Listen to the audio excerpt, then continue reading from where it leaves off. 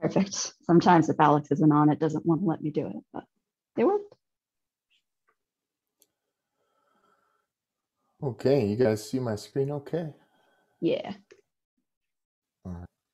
Well, thanks for the opportunity to give a little bit uh, more detail on on sprints here, um, and been really enjoying attending these these Monday calls here, seeing what's going on in the community. Um, so with that, I'll, I'll just jump right into it. Um, so you guys, and maybe some of you, I, I know Russell just saw. Russell, you you just saw pretty much the same thing when I presented to Angeline. So so uh, feel feel free to multitask. Um, it's pretty much going to be the same uh, as before, uh, but but hopefully you all will walk away with uh, a better understanding. Usually it takes a couple of times to to to understand what's going on. So with this second, more in-depth uh, overview of sprints, I hope you all find that helpful. And again, thanks for the opportunity. Um, so with that, we actually just finished a round of demo ones um, to different folks. Uh, and, and, so you guys are sort of getting the demo one. Uh, we're going to have a demo two slated for uh, September, October time period, where we're going to have a little bit more uh, to show in terms of uh, the the actual for how we use sprints um, to predict solar energetic particles. All right, so first things first, uh, next gen overview. Um, just really quickly, we're an enterprise IT company mainly doing DoD contracting. Um, when when we jo- when I joined NextGen back uh, in 2016, we were about 30 or 40 folks. Now we're approaching 200, so we're a pretty quickly growing company uh, with with good senior leadership and and direction in in terms of how to how to make solutions IT wise for the DoD right? This is sort of next gen is is awesome. Um, so five years consecutive as as the fast as one of the fastest growing companies in the United States. Um, just recently, we were notified that there's a six year there, and then just uh, some of our customers and partners and and appraisals and, and things like that. All right, so what do we do? So services just on your right there, software development, systems engineering, cybersecurity some solutions, multi-domain data fusion, architecture modernization, situational awareness, and then in the R&D department, which is mainly where I'm at, uh, we do I do a lot of weather from a data science perspective. We have some drone programs, which is always fun to talk about, uh, and then machine learning, AI, um, and space weather. And I've also done some machine learning for soil moisture for for uh, another project, which was using a very similar ecosystem as what I'm about to show you here. The goals for, for this demo is to demonstrate a state-of-the-art space weather forecasting ecosystem. So I'm going to show you the competitiveness of the model metrics for forecasting solar energetic particles. I'm going to hopefully convince you that it's built to be transitioned. It's a cloud native technology. And then furthermore, I'd like you to walk away with the big picture. And the big picture is sprints can be a virtual O to R, R to O center. So if you've paid attention in the space weather community, there's been, especially in the last five to 10 years, there's been a lot of emphasis on how do we do O to R, R to O. It's a particular challenge for us because of heliophysics is interdisciplinary, uh, coupled coupled systems, uh, and very strongly rooted in academia. So how, how do we how do we sort of take that and and transition it where appropriate um, so i'm gonna again this technology was built to do solar energetic particle forecasting however there hopefully you'll see that there are a lot of uh, heliophysics functions uh, and capabilities that that it could be extended to be used for um, and so I think that's enough on this for, for demonstration, uh, for demo goals.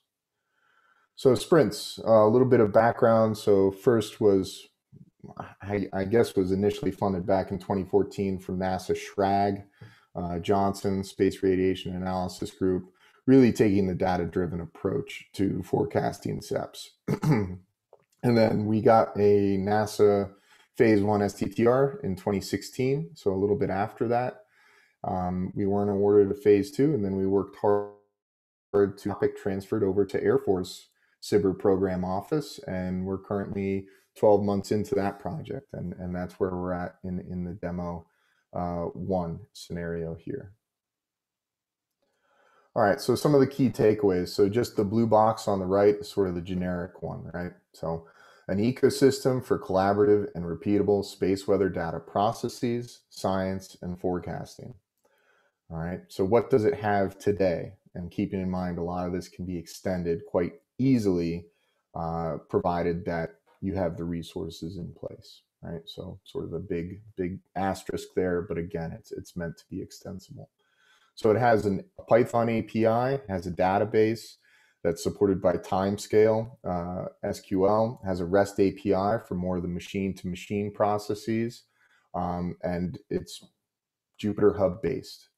The, the database currently has GOES X-rays, protons, electrons, 1985 through present, ACE and DSCOVR solar wind measurements, 1998-ish through present.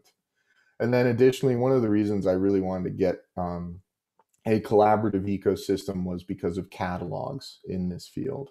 Uh, you have solar flare catalogs from NOAA. You have solar flare catalogs from uh, Joe, Mary, and Bob uh, researching at different institutions.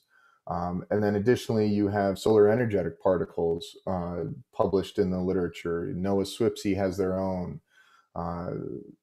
DONKI has has CME catalogs. So, so what what is authoritative? Uh, what should we be using? Um, and then furthermore, how do you associate a flare to a SEP, to a CME, to a shock? And so everybody can share that sort of same information. I'm not saying you're going to get 100% agreement.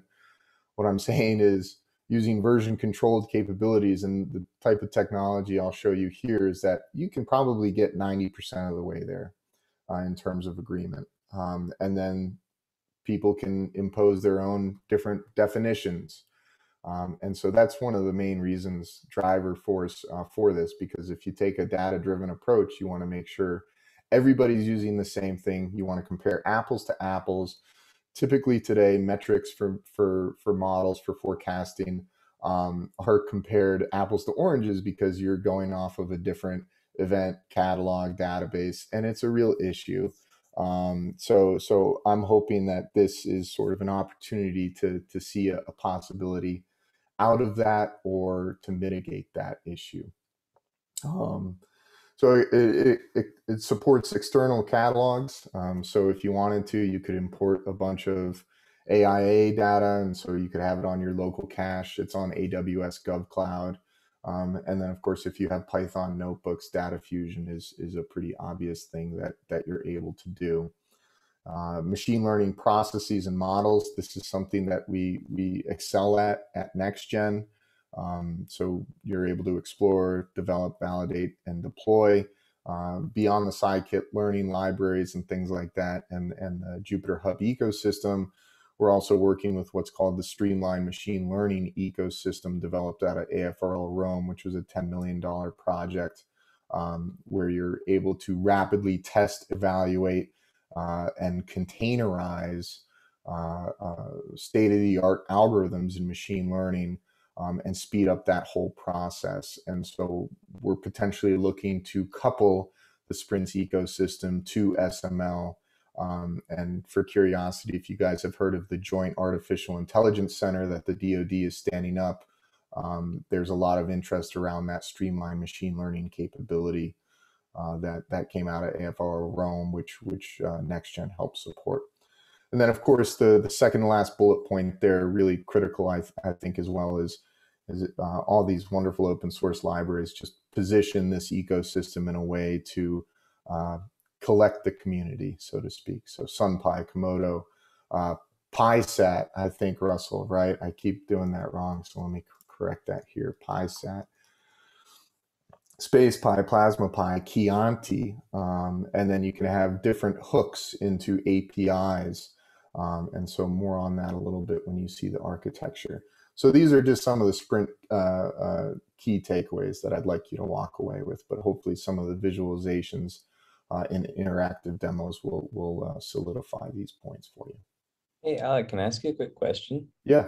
if you explain this later, feel free to just tell me so. But Sure. I'm curious with your machine learning stuff. Um, I'm loosely involved with with some machine learning things over here at LASP, and I know that detecting solar flares has always been one of the holy grails. No one can quite crack it yet. Um, do you do you use a neural net kind of approach when you're doing machine learning stuff there, or do you use a more like you know statistics based stuff? Yeah, so you're talking about just detecting in a time series like X-rays? Yep. Yeah, so straight up, we use the the Markus Aschwanden and Sam Freeland paper from 2010, 2011, if you're familiar with that. I am not. Um, so, yep, take a look at that paper. Um, that's what they use on their Lockheed L- LMSAL.com latest events page. And if you notice that they have detections on that event. So we basically took it and I'd like to think we improved it a little bit, um, at least based on the IDL code that Markus gave me like eight years ago now. And then I reverse engineered it and put it in Python. And I got it to work with not only flares, but SEPs, CMEs, and eventually high speed streams. Oh, Um, so, so more on that in a little bit, but actually no, no machine learning needed on that as of right now. But we are trying to execute that code to work in real time because it's different uh, than when you work on it from a historical perspective because you give it a start Oh yeah, and yeah. an end time, right?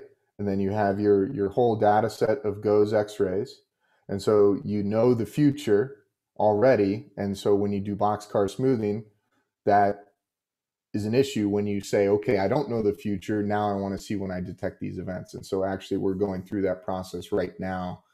Um, and, and maybe I can show you a little bit of an example on that. But I know there's been success in general on, on machine learning. I've seen some type two, type three radio burst machine learning detection. But for me, um, it's always if it, it's got to be done in real time, especially if if your object Mhm. object uh, objective is to do forecasting, right? So a flare goes off, and then yeah, so you'll see some of that in a little bit. Very cool, Uh, very cool. Um, yeah. can I, can you say the names of the authors for that paper again so I can look it yeah, up? Free, Freeland and Aschwanden. Freeland and what, how do you spell the other one? A S C H W A N D E N. Markus. Uh, if I spelled it wrong, uh, it's been a while. I put that in the chat, in the chat, just Okay. because. Okay, thank you. Yep, no problem. All right, so so what did we use this technology? Why did we build this technology? It was to forecast SEPs.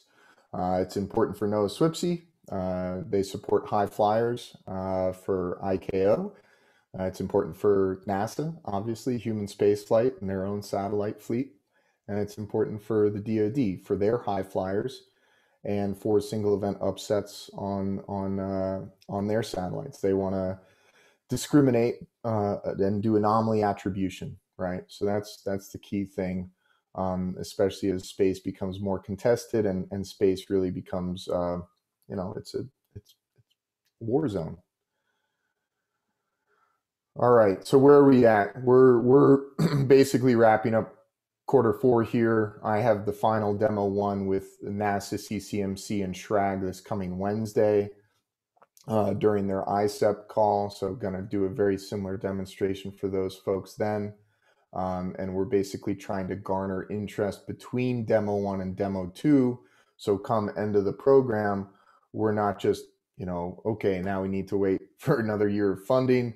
That's great. Uh, that does nobody any good. So, we're trying to line up funding pretty much for for right around. Uh, uh, beginning of 2022 so we can keep the lights on and, and keep progressing increasing our trl levels um, and all that good stuff all right so on to the demonstrations um, and the reason i'm not going full screen is, is so i can see you guys um, and, and see anything in the chat um, so let me know if you have an issue reading anything but let me just read the bullet points one two and three and then zoom into the architecture diagram and then we can get more into the interactive demos. Uh, and by the way, my goal will be to try to wrap up with 10 minutes left um, for for discussion, but no reason to to interrupt me. And and uh, um, and just ask questions and fire away. So please do so. So Sprints, an ecosystem for streamlined data fusion, analysis, and machine learning, enables new forecasting techniques and a collaborative R to O, O to R ecosystem, and gives you the ability to explore, visualize, and analyze large solar imagery and helio data sets. This is sort of a in development uh, a point here where we're trying to get xarray to work with the world coordinate systems, and, and so you can stream through and analyze uh, large solar imagery data sets such as AIA. And then it's a modern cloud native deployment model, um, and that helps with rapid, um, agile transition to operations. Um, and so zooming in on the architecture diagram, so here again, we're focused on sort of space weather forecasting. So the upper left will will do operational data coming from NOAA SWPC.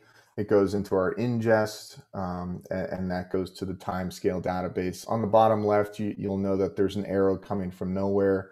More on that in a little bit, but suffice to say, uh, it's just coming from different data repositories, whether it's from CCMC, VSO, uh, you know, the heck, whatever. Um, so, and, and, then you can imagine other APIs beyond LaTiS, SunPy, and DONKI. You can have PySat there as well. So all these different APIs that these different libraries have constructed, you can perhaps align them in such an ecosystem as this.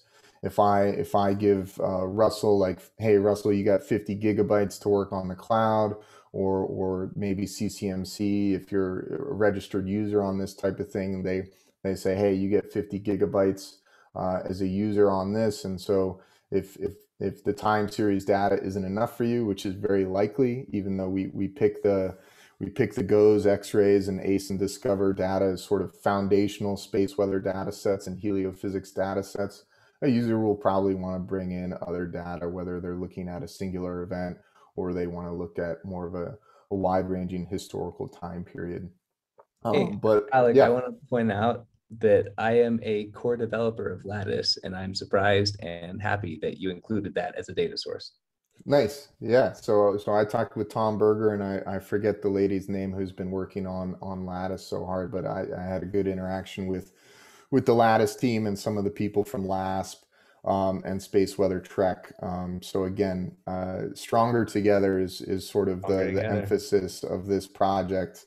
If we can rope in you know the community um, and this is worthless right? Without without people being on it and and things like that. So i think the idea is where can we align our efforts um, and where where can we go after the big fish um, in this area and not not try to work in in in different avenues but start to work together um, and, and, also for what it's worth if you guys heard heard of pangeo um, you i can envision sprints being more of pan helio uh, type of deal. Um, so, uh, but it's Dockerized AWS, and then you see the Python API, and then of course it's linked to Jupyter Hub. And hey, if you want your analysis dashboards, if you want an operational dashboard, Bokeh server is a great way to go. So this environment really can provide it all in terms of doing the analysis, data fusion, data ingest, all the way to, hey, I want to deploy a tool for somebody to use. Who is that user? It's a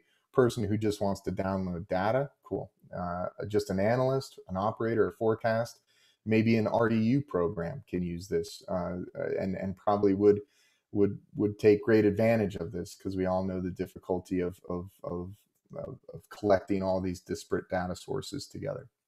And then of course in the uh, on the upper portion, uh, you have all your Python libraries. So more on the left side, you have the Helio focused uh, libraries here that can be organized. And this is where I was talking to Russell and Angeline from NRL in terms of, hey, okay, what, and, and, and Russell was talking about how PySat uh, can be used to sort of orchestrate the libraries more cohesively together.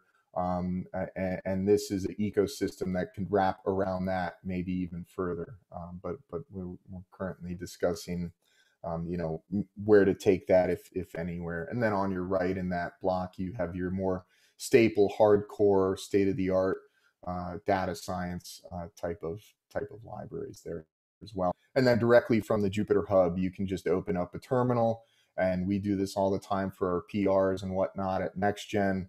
Um, you can just go right to Bitbucket or GitHub. Uh, so again, all inclusive ecosystem. That's what we're striving for. Alrighty, so let me zoom back out here. The next couple of slides I'll go I'll go through a little bit more quickly here, um, and, and then I'll get into a demo, I swear. All right, so the IT infrastructure, the components. Um, my data engineer, she she's great, and she would demonstrate sort of the back end to you. Um, so you're just going to have to envision that this happened at this demo. She would pull up the AWS console. She would show you the REST API, how it works with Swagger. If you guys don't know Swagger, it's pretty slick. Uh, she would give you an overview of PG admin and then a high level Jupyter Hub um, showing, showing some of the uh, Python API calls. All right, so how much does this all cost? Um, well, for all the data that we have, uh, again, in situ data is not a big deal, but again, from a data-driven perspective and a data science perspective, it's it's helpful when you have uh, only so many SEP events to collect as many as possible. Um, but these are the AWS costs associated with these sort of in situ measurements from GOES and ACE. Um, so it's $500 a month. It's really not that much, and, and storage outweighs the compute.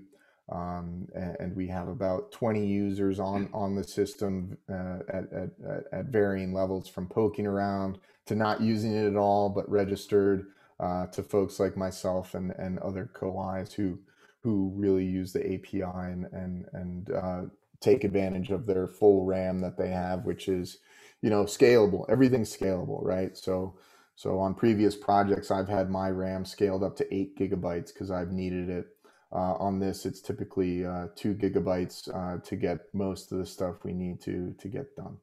Um, but there you can see uh, that the active usage is is around 700 gigabytes, and and we have a, available uh, to go up to two terabytes on the database. Question on the downloads. Yeah. Yeah. Do you have any kind of throttling or monitoring or advisement or whatever on people who say, oh, you know what, that's interesting. I just give me all the data and they just click download, right? Because that's kind of what you're trying to avoid with these cloud systems, right? Is you want people to keep the data in the cloud so that you don't have to pay the egress. Yeah. What's your so, approach to that? Yeah, because our team's relatively small and, and we have control. I mean, that issue has popped up before where actually it was a project where I told an intern, like, hey, upload eight gigabytes of data to the hub, right? Not to the database because uh, it's not database, and actually crash the system because we had a backup which would go every every day for a week, right? So that eight gigabytes actually multiply that by seven. I'm like, why are we backing up that much? So there does need to be that kept in mind. That that part of the system needs to be mature matured more um, in order for it to be you know flexible and and and uh, so so a, a back end engineer doesn't need to be hands on and hand holding the whole time. Uh, but but certainly we've we've seen that there are capabilities for doing that um, uh, and and limiting that. Uh, you can flag warnings and, and things like that. We haven't gotten too much into that because we're relatively still controlled with the team the way you get access for this right now is getting your IP whitelisted. If anybody here is interested in the system, happy to IP whitelist you so you can poke around and see what I see and do what I do here. You can't change anybody else's Python notebook. You can copy it and put it into your local folder and things like that. Um, but but a lot of that you know needs to be fully explored when you talk about hey we're going to open this up to the CCMC community and a lot of those initial tasks are going to be just that. How do we prevent, you know, system failure because somebody downloaded half a terabyte of SDO data um, and uploaded it into the system, either Jupyter Hub or otherwise. So again, that local data cache, hopefully that limitation, you know, and certain flags and warnings will will come into play there. But that very much needs to be more fleshed out when you when you start to to to build a project um, in, in, that in that direction, which I hope it does, right? So I hope we get that opportunity to explore that a little more. All right. Hey, uh, Alec. Yeah, Jack. So um, So are you going to allow people to upload data then? Is that, or does Sprints do that? It seems like you have a tight control over the data availability, right? Yeah, so so basically anybody, any of our users can upload data to the Jupyter Hub. Uh, there's there's no there's no limitation, and so if they upload beyond this, I think we actually just upped the Sprints Hub from 27 gigabytes up to 100 gigabytes because I wanted to look at this SUVI data set, um, which is very similar to AIA from from NOAA NESDIS and, and Dan Seaton. Um, so I upped it. We upped it to 100 gigs because again we had it crashed, and anybody can do that. So anybody, if they wanted to, could crash the system outright. Who's a current user, right? Um, and, and also if if you use the SunPy API and you start to call different uh, images from from LASCO or whatnot, and you go crazy and write a write a write a routine that says, "Give me all the data between you know these timestamps." You could crash the system too, doing it that way. Um, so so again, there there there are there are ways of, of crashing the, the the the console and the and the cloud capability and the hub ecosystem by doing that. But again, uh, be, because we're all we're all playing fair on here right now, and we're all aware of the current uh, computing limitations and storage limitations. You know, we're and and for this project, we're still very much focused on the in situ data sets and and sort of the metadata, which tend not to be terribly large. Yeah, I think so. Uh, um, if I heard John correctly, he was worried about the egress costs. So, do you permit people to download data from uh, sprints because it'd be very simple to set up a, a script that just downloads a one megabyte file a million times, right? And then yeah. suddenly your data egress costs have gone through the roof. Yeah, so, so we haven't done that uh, in terms of local downloads. We haven't looked into that. Um, again, we're hoping that people stay next to the data, right? This is the right. key key part of I, I think you know the, the future with with doing data analysis. Do the analysis at the site of the data. Please don't download it if you don't have to. If you have to, fine. Um, but you know we we haven't really you know delved into that much either because we hope that you don't have to download it. However, one of the I'll talk about this now briefly. One one of the applications of sprints is actually sort of a uh, a next generation capability to, sm- to support SMEX missions. So we've actually had a couple of uh, discussions with, with SMEX teams on how sprints can be used uh, as a platform to support the entire SMEX mission in terms of data and analysis. So you can imagine that there's an upcoming SMEX mission. They believe that they're going to have roughly 40 to 50 terabytes of data.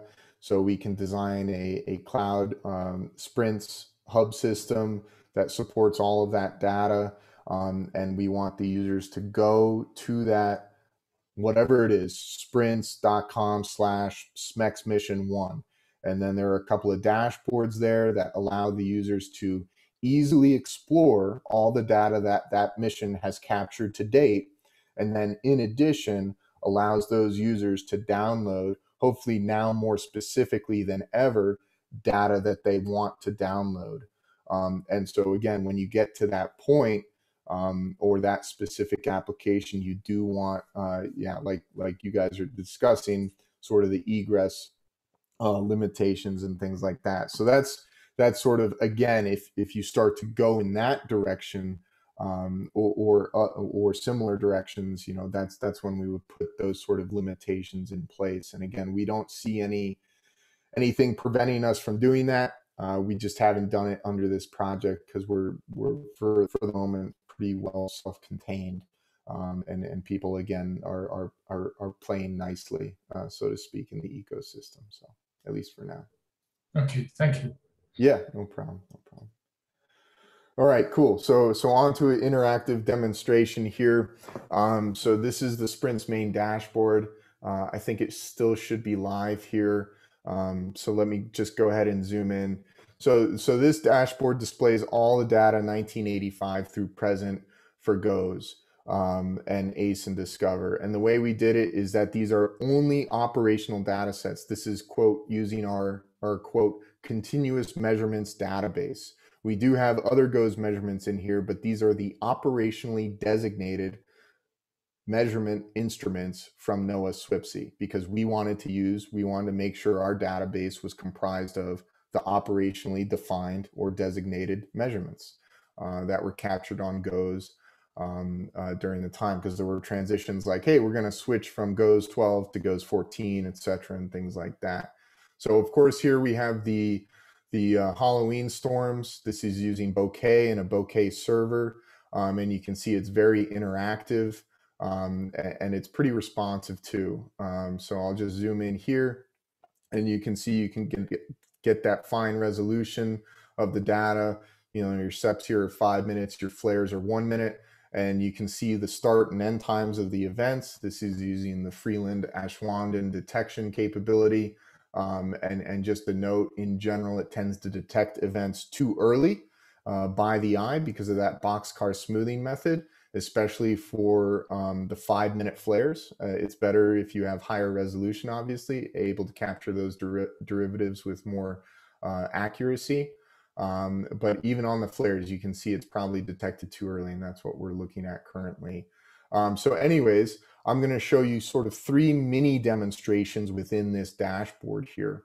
Uh, so the first is, is that this dashboard allows you, and if you notice there are tables on the upper right here, um, you can edit these tables here and we've connected it to the database. So you'll see in the upper right, so this is your typical flares, SEPs, and, and solar wind, right? So in the data table on the right, you have your flare IDs, your start and your end times, the latitude and longitudes, and no active region numbers of those flares. So if I go ahead and, and try to select a couple of flares here that are associated uh, to a SEP here, if I can find a good one here, there we are. Um, so you can see in this database, uh, this flare is associated to that SEP. Um, and that flare has a latitude of negative 16 and a longitude of negative 8. Uh, if you disagree with that and you have authority to change this in the database, you can go ahead. And what's more is you would be making a fork of this catalog, a different version. So it'd be underscore, you know, it'd be next gen version one associated catalogs underscore Ireland or something like that. And, and so that now Jack uh, from that point on would be making corrections to his version catalog uh, because he disagreed with the metadata, with the start and end time of a flare, with of a flare to a SEP. And what's more is you can change, uh, you can disassociate these events. Let's say, for argument's sakes, that that flare is not associated to that SEP. These widgets down on the bottom allow you to disassociate these events and furthermore reassociate the flare that was just disassociated to a flare that you think is correctly should be correctly associated to that SEP. Uh, so that's sort of demonstration one. Um, uh, you know, just really quickly, I'll, I'll, change the time here if I can. Um, so sure, of this event here, I'm going to say this event started a little bit later. So I'm going to go ahead and put down 12, uh, 50 UT instead of 50 UT and I'm going to say um, update event here. Oh, I think I need to click return. Click return, update event. And again, all of this is using Python, uh, Bokeh, and on in the backend server. And I do have an architecture diagram on that. So I think, did I do that correctly? You know what? Maybe it was. Oh, you know, let me let me just restart this to make sure it's live because it was dead for a while and it tends to time out. Uh, so let me just kick that off again. So that's going to be the first demonstration. The second one is I'll, I'll show you a. Um, so here we go. I'll just click on uh, this guy here and try it again.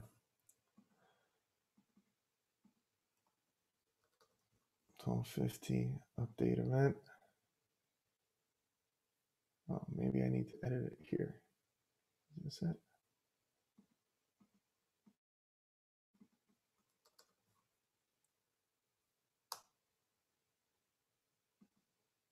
Okay, so there you can see I changed the end time there and it it says, okay, now this event is going to end a little bit longer out here. So I just changed the end time from there to there. Uh, so you can do this, and if I hit update catalog, that'll persist it to the database. And now my machine learning expert, Brianna, she will immediately see that update on her API and her notebooks. So if she executes her notebooks, I just told her, hey, Brianna, I just made 30 different corrections to these associated events by walking through them. She'll go through and give me updated metrics based on them or, or other things like that. Um, and then let's see, uh, the additional demonstration here is because we're doing forecasting applications. I'm going to jump to uh, a time period that we have the an actual forecasted persisted into the database. So that's going to be, I believe, May 9th. This is one of the uh, CC change events. Um, so if we get, give it a second here, it's uh, using the, the API and the database to update this. Oh, I'm running low on battery here. Plug in my laptop. So if we just give it a second here, it should. Demos are always great, live demos. I Swear this was working before.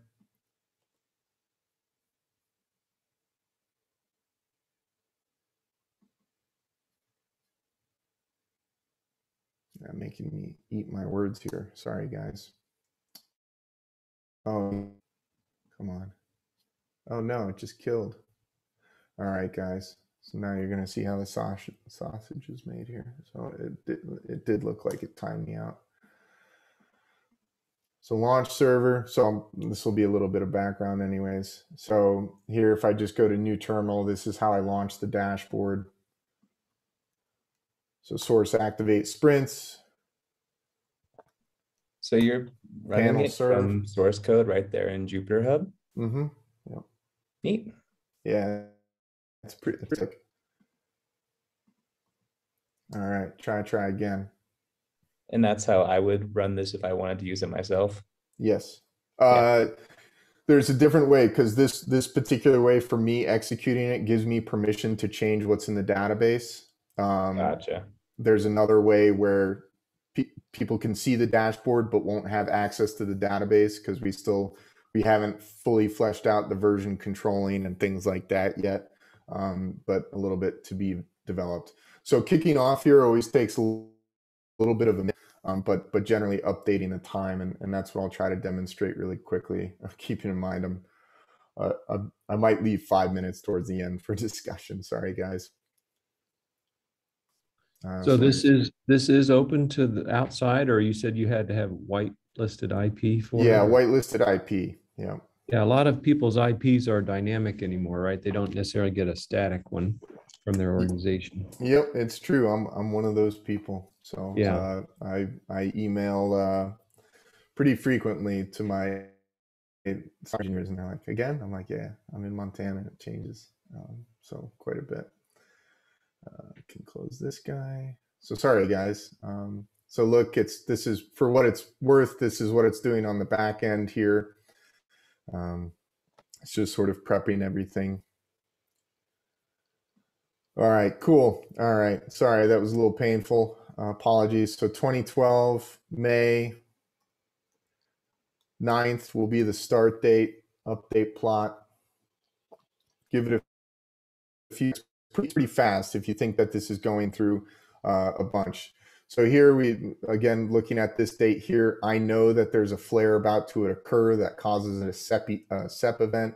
So if I step forward an hour, and again, give it a second. These are some forecast probabilities from MAG4 or MAGPie as we're calling it now because it's recently written in Python.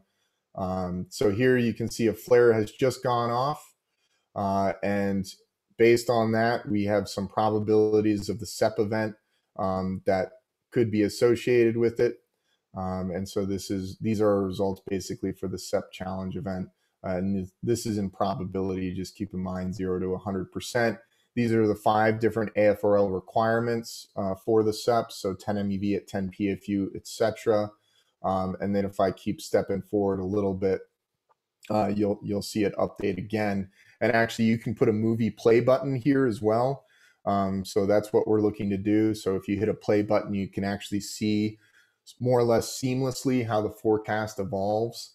Um, and, and eventually, one of the few limitations that I've actually found is that you can't have double double axes with one being log and one being linear with bokeh as of yet. So, but they're working on that. So eventually we want to make, make a double Y here. So your probability goes from zero to 100%. And you can see in general how that compares to the event that you see. So if I just walk forward a, you know, a couple of days and keep in mind this general pattern here and keep in mind that it's probability, not measurement, uh, let's see if the, what this event actually looked and then I'll, I'll, wrap up by showing one more additional demo. So there's the SEP event. It was fairly well connected. Um, so if I were to guess that this was on the western limb, um, and I actually don't recall. So where is this flare? Is it this one? No, it's this guy. So yeah, it's on the 76 uh, uh, longitude. So it's definitely on the western part of the sun there. Uh, and you can see that that's the association for it. All right, lastly, a month later, so just to show you the extensibility of these types of dashboards, you can build them. I really haven't found any limitations other than the plot uh, y-axes that I just mentioned. So fast forwarding uh, one month into the future here, um, let's let's take a look at uh, uh a CME here and a visualization we did with that. So update plot again. Again, give it a few seconds. It's pretty reactive considering that it's going through a big database here. Um, so here you can see that there were a couple of M-class flares that went off.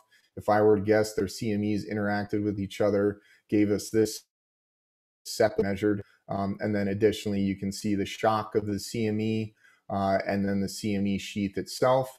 And so just to show you the extensibility of, hey, I want this dashboard to look like this because I'm an operator, I'm a researcher, um, you know, you can do anything with it. So let's click on this uh, CME, keeping in mind that it does have a little bit of a shock component to it, uh, and then the CME sheath. And then we have a nice 3D visualization of that CME as it passes by the L1 um, with some metadata printed out in this box here. And, and again, more to demonstrate the extensibility of these types any, but but certainly I, I think predicting the uh, the helicity, whether it goes counterclockwise, clockwise, depending on your frame of reference, is just as important as predicting BZ uh, because it speaks to how you would predict BZ in the first place. Um, and and so we hope to get a little mini project of of doing just this um, in terms of predicting it, um, uh, along with a couple of smaller mini projects. So that concludes sort of the mini demonstrations that I had with this dashboard. Um, you know, just because of time, I, I could show you other things like the room, tell me your favorite date, and we jump to it and take a look at it and uh, have all sorts of fun uh, seeing seeing what you see. Um, but that concludes this this sort of uh, uh, capability. I'll leave this up um, in case there are questions in the end, but just to to sort of wrap up and go through really quickly the remaining slides. So you're going to have to forgive me. This is going to be really fast. All right. So here's a, a, dashboard architecture for what I just showed you. This is how it's built, okay? So again, I'm gonna go through it really quickly. Back to the SEP forecasting.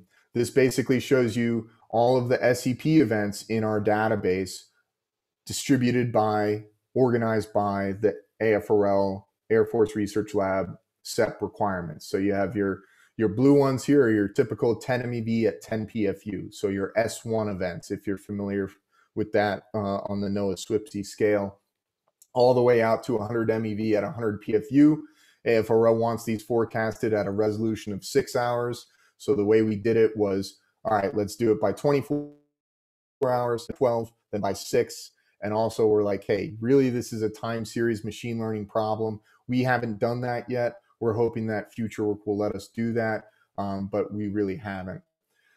There are additional sort of cool interactive uh, 3D. Uh, there's an analysis dashboard that I basically really like to pull up next to that main time series dashboard I showed you. Um, and this, this, these are all the flares that are not associated to SEPs, and the green ones are flares that are associated to SEPs. You have your fluence, longitude, and ratio as your parameters. Uh, you can change them on your X and your Y and your Z axis to show flux instead of fluence, uh, to show latitude instead of longitude. And you have that option for, for all of the, the four uh, AFRL requirements. A scatter plot matrix is a way to go as well to see multi-dimensional relationships, as well as uh, parallel coordinates. So we're currently putting that dashboard together. Uh, and so maybe if I have a mini update for this group here come September, October, I'll show you that dashboard separately. Um, so the ma machine learn model here that we use was MLP multi-layer perceptron model. Um, here's sort of the results that we get. These are pretty competitive in terms of Heidke skill score, the HSS. So after optimizing the results, again, for these 24 hour bins, so we just assume going out to 96 hours, we do a pretty good job of that. Here's the 12 hour 12 hour resolutions. We retain that 0.5-ish, uh, 0.6-ish Heidke skill score. So we feel comfortable moving now perhaps um, to the six hour ones, which is really what's required. If you want to know how we compare up against NOAA SWPC, um, they have their model protons here from Chris Balch, 2008, probability of detection 57%, false alarm rate of 50%. The multi-layer perceptron model from Sprints is 60% and 41%. Uh, uh, and so it, it's a pretty good improvement or a decent improvement there. Uh, and then SWPC human in the loop is pretty high probability of detection, false only 24%. Why is it so good? Well, sometimes you get events uh, and you're watching the threshold go up. So you're seeing, hey, we're they they define the event by 10 PFU, so that's their threshold. So a SWPC forecaster can watch four PFU, five PFU, six PFU, eight PFU. Oh my gosh, we're probably going to get an event, so I'm going to give a forecast. So it's not cheating, but you need to realize sort of the nuances in terms of what goes into forecasting. And then for the 100 MeV at 100 at one PFU, um, we we uh, really we we clearly beat out human in loop. Um, have to keep in mind this is apples to oranges because they're using a different database than we are, um, and all of that good stuff. Uh, we threw the book at it. Uh, we did all the scikit learning libraries. Um, and this is really a robust way of, of seeing which model is best. So we did tenfold cross validation. And if you're wondering why the skill scores are so low, that is why.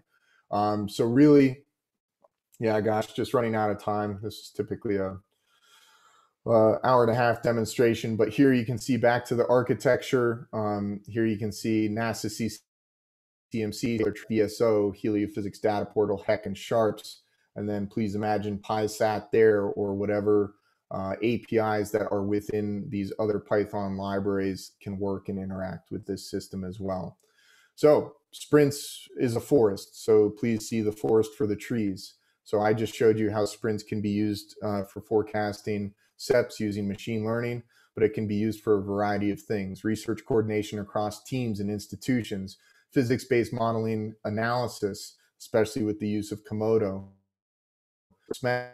in terms of uh, data analysis and download capabilities, uh, heliophysics uh, data access, and then everything else I think was previously mentioned. Um, here are some of the mini projects we did, um, and then the sprints community. Um, really, really, I, I view communities such as the Python heliophysics community feeding the fuel into the sprints uh, uh, ecosystem, or if you call it the pan helio, and it evolves into something like that. So it really becomes that that fuel for that R to O, O to R. To, um, so with that, and apologies, um, wanted to leave a little bit extra time. I am available to stay on longer here if the discussion goes over the hour, but I, I will stop here. So thanks very much. And thank you very much.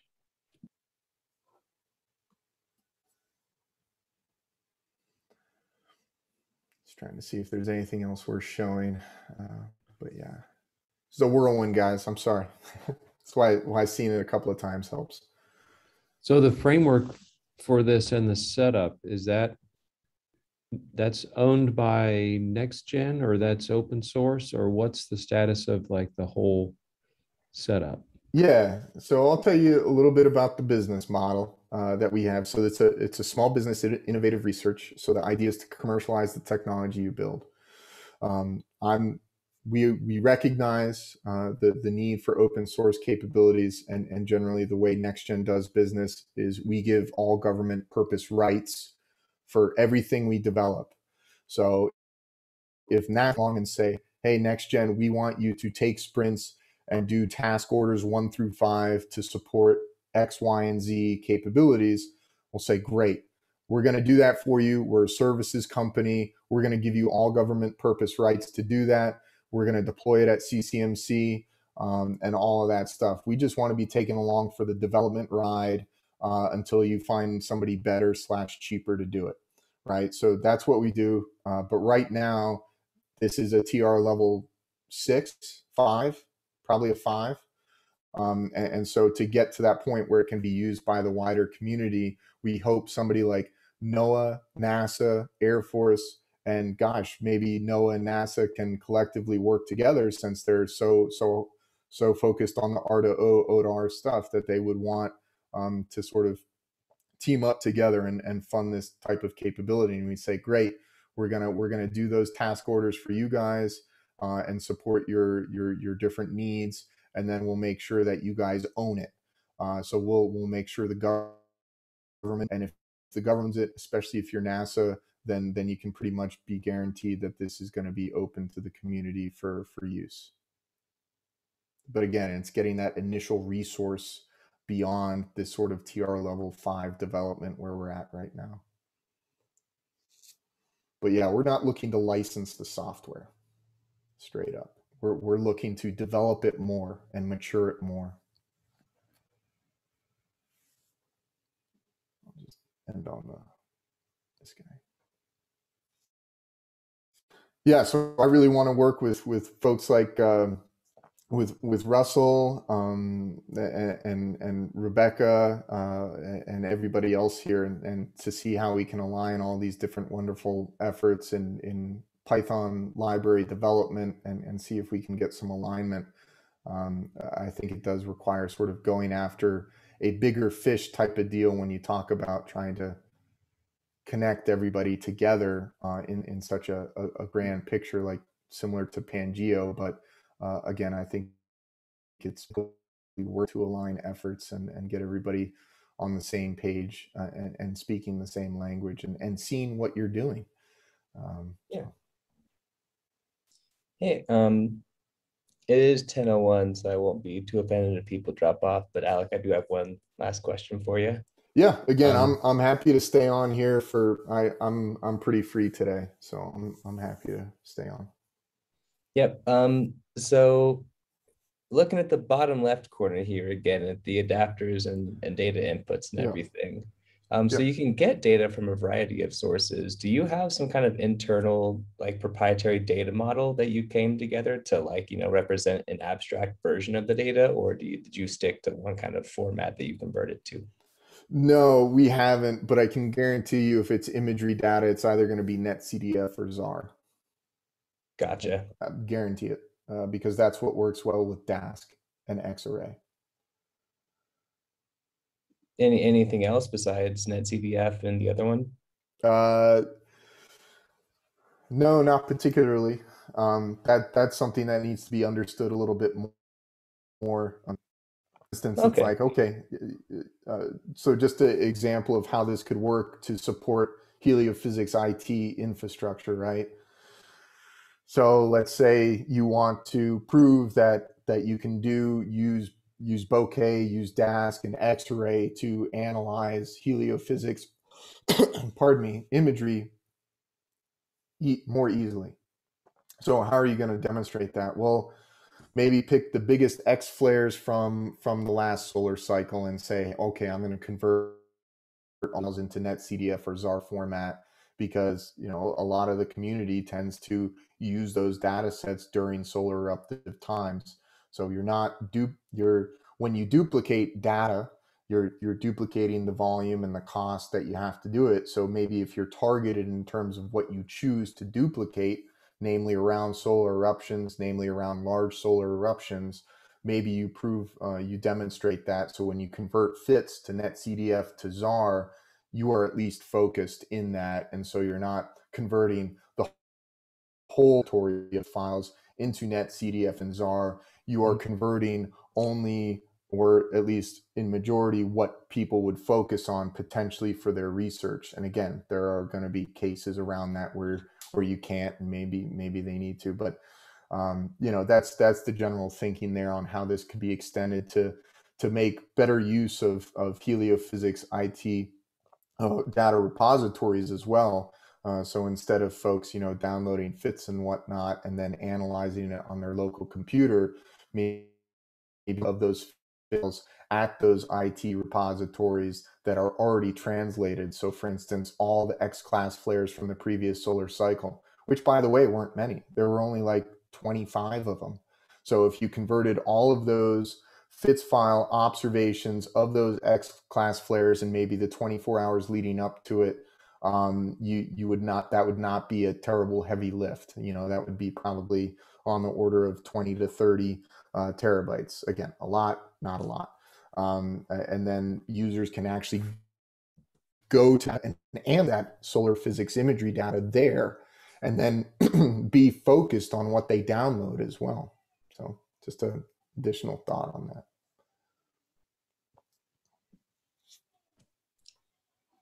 So I have a question, and um, Alec, if you'd rather think about this offline and just get back to us later, that's fine. But Sure.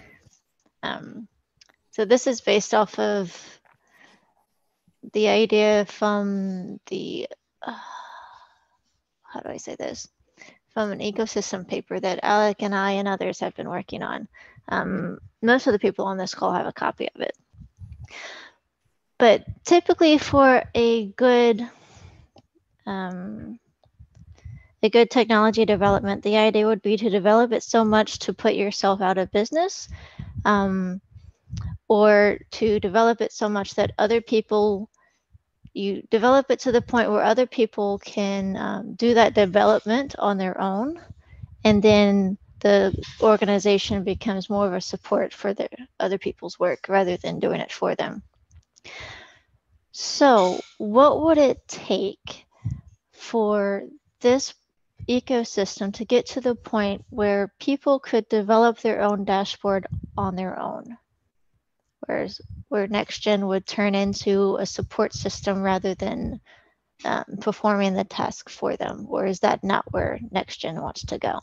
No, I think that's exactly where we want to go, like 100%. We we want to sort of demonstrate like this is what you can make with, with a dash situ example dashboard for ionospheric, example dashboard for magnetospheric, example, and so on, and say, oh great, here's the code for it go forth and, and develop your own dashboards. Um, and so certainly we want to take it in that direction where developing these dashboards are more in the hands of the users um, rather than users coming to NextGen and say, we want to you to make this dashboard. It's like, great, we that that's good. We can if you really want us to, um, but but we we're more interested in in uh, again more of the DoD type of commercialization of this effort um, and and sort of the broader the broader enterprise IT support of this and less of the dashboarding, but certainly want to demonstrate upfront what can be dashboarded. And I do need to think about it a little bit more in terms of how that transition would happen. Um, you know, if, if we have, like I said, those five or six different dashboards that hit the different systems of heliophysics, um, maybe that would be enough uh, to sort of release to the public maybe even that CCMC would say, okay, now you just need to be a registered user on sprints. And so with that, here's sort of your go ahead and read this, how to get started on sprints. Chapter six is build your own dashboard um, type of deal. So at least that's what I'm generally thinking. Again, details uh, fuzzy, um, but but that's how I would like to take it forward. And, and gen would just be supporting on, you know, the user side and, and sort of the back end, what needs to be database, for instance, we'd like to control uh, what the database um, and, and, maybe uh, build extensibility for people um, to to use to use the database in, in a wi- wider variety of, of, of ways. If that helps, Rebecca. Oh, that's great. Um, one question, maybe a devil's advocate question. Yeah, bring but it. um, does NextGen have any foresight on how this can be done for other research fields, not just heliophysics? Yes, it's funny you asked that. Um, so let's see here. Pardon me. So we did it for soil moisture, and I actually presented this to you guys. Still see my? Am I still sharing? I am, right? Yes. Okay, so so we we did this for soil moisture as well. We created dashboards for soil moisture. The idea was to do machine learning for soil moisture. Um, so basically, here there we created different dashboards for soil moisture. I showed this to the SMAP level four team. SMAP is a NASA mission. It stands for soil moisture active passive, um, and globally around the Earth. Um, and, and basically we created this dashboard and a lot of this was actually how we we could spin up sprints so quickly because we had this experience. But here you can see i'm using geoviews holoviews and all these wonderful libraries to stream through terabytes of geospatial data. And then here i'm able to create a new dashboard and actually abstract all that python code away and so here's just an earth science example of how sprints, or we call this project SMART, uh, can be used to a variety uh, to a wider audience. Um, so the ability is there. Um, and, and, so, and just to give you an idea, this gives you a more in-depth analysis on imagery type of stuff rather than in situ dashboard I was showing you guys. But I click on this region in Texas because this is a region we wanted to prove out our machine learn model and we use Datashader and all these wonderful libraries and we compare uh, different different layers against each other absolute depth to bedrock to bulk density do some scatter plots because we want to understand relationships. So rebecca without getting into the details there you know this is to- totally extensible. If if you have this broad ecosystem for let's just say nasa as a whole and you want to have registered users and they come in and they're like hey i'm earth sciences and again similar to what pangeo can do today um, but they can come in and say okay well i have this particular data set uh, how do i how do i translate it into net netcdf or zarr and how do i build my own dashboard my analysis dashboard? How do i build it? So if i'm the smap level 4 team uh, users who want to download smap level 4 to go and down go through um, you know those those more difficult to to uh, uh, you know navigate sites in terms of downloading data. You can be more precise. Like hey i don't need the whole smap level data for the globe. I just need this texas aoi so i'm going to select this texas aoi and click download and now i'm going to get that download button. So this is just an example how, of how we use the jupyter hub and the aws cloud system in a very similar fashion to sprints but again more more earth science focused. Okay, thank you. Yep. Yeah, this was a fun fun project, and you can see bad data when you can visualize all the data sources. You can see like these circles outside of CONUS. Um, you know, and this is from IBM, the weather company. And I was like, "Hey guys, you guys see this bad data you guys are selling?" Um, didn't hear much of a response from that. But yeah, time series data, click a point near Houston. You see time series data pop up really quickly. So this is the soil moisture data.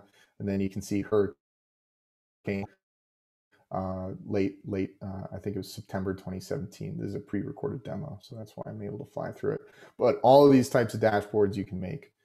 Um, and, again, it, it, lets you understand your data set that much uh, more quickly, especially when you're concerned with terabytes.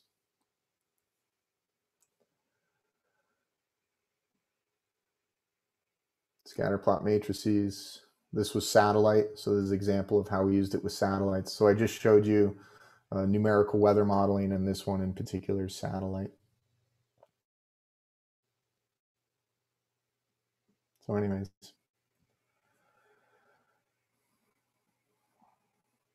But yeah, it's a lot of fun as a data scientist when you're able to stream through terabytes of data. Uh, you get a better handle on on understanding data relationships and things like that, and and then translating that and helping the machine learning expert who is a machine learning expert, no no particular understanding in your area, um, uh, but if you're able to walk him or her through these types of dashboards and say, hey, this this is the relationship, and you know, it just helps them uh, understand it uh, uh, more effectively as well, which is critical for that for that AI ML uh, application. Oh, yeah. If you guys are still chilling with me, um, so you guys may have heard of Cesium, um, uh, and, and, there's actually a Python uh, Cesium capability. So this is actually using the the ECP measurements on board all the GPS satellites. Um, and so I can imagine pulling this up, this dashboard, uh, with the analysis dashboard, with whatever dashboards you want, right? And so this is basically showing the, the electron measurements. Uh, if I can click on this satellite, let me just pause one so we can see some metadata pop up. So the metadata is in the top right. Let me just see if I can zoom in there. Right, so what's being visualized is the 2 MeV electron flux there from uh, I think N63 GPS asset there. Um, and, and, this is from 2014. So if I was quickly to go to the dashboard, I would go to G15. You would see that the solar wind is picking up and a little bit. Uh, this is a two week period. And so I'll just go really fast through it. Um, but you can see uh, sort of the radiation environments. Um, and there's no reason why you couldn't make the plugin of Cesium work more effectively with Python and deploy this as a dashboard as well. Um, and, and thinking about SatPy and Kamodo um, uh, working with this. Maybe this is more of an operational one um, uh, than than an analysis one, but but certainly uh, analysis nonetheless. And you can go to different vantage points and things like that. And this is open source as well, and that's why you can do all sorts of plugins with Python and whatnot um, using this. And, and, sorry, it's probably going too fast if you're getting dizzy.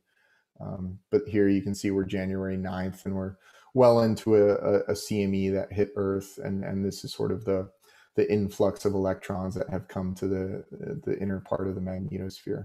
So just a, just another demonstration, another dashboard that you could potentially insert, another tool in your tool belt, right?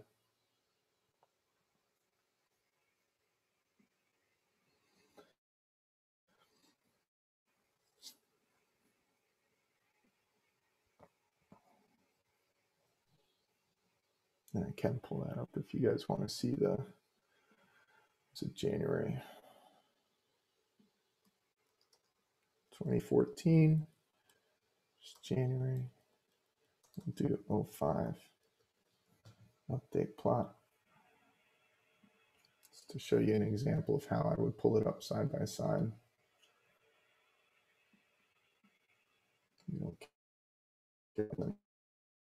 So there you can see you actually had some SEP events associated with it with these flares here.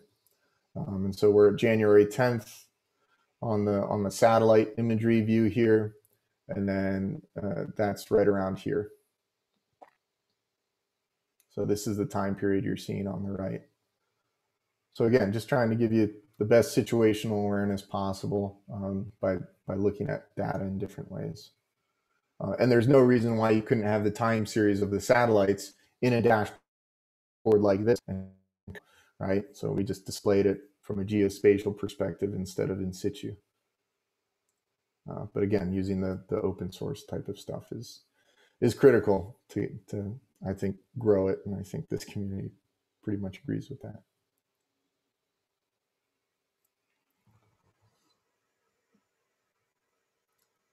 Yeah, and then what's next? Uh, just to, to wrap up, maybe the final comment. If I if I give a follow up demonstration to you all, uh, September, October, November timeframe, I'll have results including matics and radio bursts on top of the uh, the solar flare parameters that were used to predict the SEPs.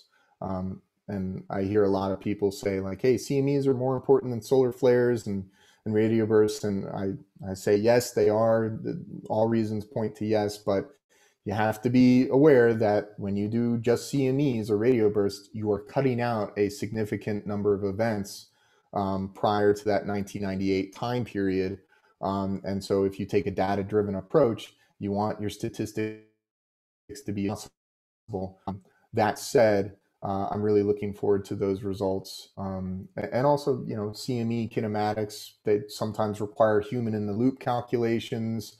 Uh, they're not available exactly in real time. There's a delay. Um, and so there's a lot of good reasons to start with solar flares as your foundation for predicting SEPs and building up from there. Um, and again, the, the, it's extensible to pretty much any any any any uh, anything you want to data fuse together with it. So. Well, cool guys thanks thanks for the extra time and and, and sticking sticking on with me uh, a little bit longer here please reach out to me if you're interested in, in getting ip whitelisted happy to do so for this community um, you know keeping in mind play nice um, uh, on it you know don't upload a, a, ton of stuff but just reach out to me um, uh, uh, anytime and, and we'll get you on here uh, it, it should be open for the next six to eight months if not longer uh, based on current funding.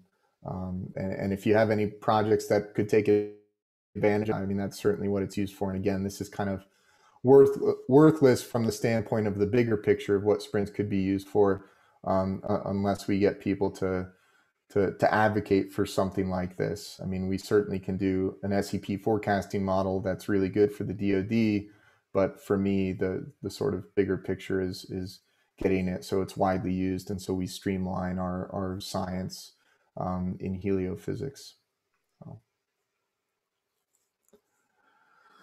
right on any, any closing remarks or questions guys again thank you all right julie thanks alec that was awesome you bet um, as soon as I can get in touch with Alex, I'll get the recording for this and put it up with the meeting minutes. Um, apart from that, just our next telecon will be, I believe it's in two weeks on July 26th, and Bob Weigel will present a MagnetoVis project update. So look forward to that. See y'all. See you guys. See ya. Bye. Bye, thanks.